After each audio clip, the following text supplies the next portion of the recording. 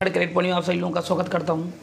सबसे पहले मैं आपको ये बता दूँ कि जो एम पी फॉरेस्ट का पेपर होगी कि नहीं, या इसका एग्ज़ाम के लिए फॉर्म आएगा कि नहीं आएगा, ये बड़ी बात है। तो आप जैसे देख पा रहे हैं, मैं एम पी ने जो कैलेंडर शेड्यूल दिया था, उसमें से आपको खुद साफ़ साफ़ इसमें लिखा हुआ है, आप देख सकते हैं कि नवंबर में इसका पेपर का एग्ज़ाम का शेड्यूल बनाया गया है।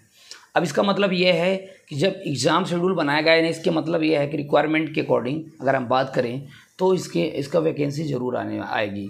ठीक है? अब ये आएगी कब? तो जैसे अभी समय जुलाई चल रहा है। जुलाई लास्ट जुलाई या फिर अगस्त, सितंबर, अगस्त की शुरुआत अगस्त या लास्ट अगस्त के बीच में कहा जाए तो इसकी नोटिफिकेशन आ सकती है। आप लोग पूरी तरह से तैयारी करिए। ये बिल्कुल ना सोचिए कि इसका एग्ज़ाम होगा कि नहीं होगा। अगर देखिए, उसने एग्ज़ाम शेड्यूल दिया है तो जो व्यक्ति इस एग्ज़ाम शेड्यूल को मानकर उसकी तैयारी कर रहे हैं तो स्वाभाविक है कि उनका हो ही जाना है। जो व्यक्ति ये सोच रहे हैं कि अभी पेपर नहीं आया पेपर फॉर्म नहीं आया फॉर्म नहीं आया, ये बताओ फॉर्म आने के बाद भी यदि आप, क्या आपकी तैयारी हो जाएगी? इसलिए लगातार आप अपनी तैयारी बना के रखिएगा। इसमें बिल्कुल ये ना सोचिएगा कि इसका एग्ज़ाम नहीं होने वाला है, कि आएगी कि नहीं आएगी।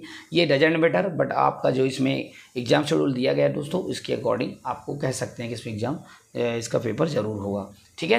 थैंक यू आप लोग लगे रहिए और मेरे चैनल में जुड़ना चाहते हैं तो आप मेरे अगर नए हैं तो इस चैनल को सब्सक्राइब कर दीजिए, बेल आइकन को ज़रूर दबा दीजिए, जिससे मैं आपको कोई भी वीडियो डालूँ तो आपको नोटिफिकेशन जल्दी से जल्दी सूचित हो जाए। Thank you take care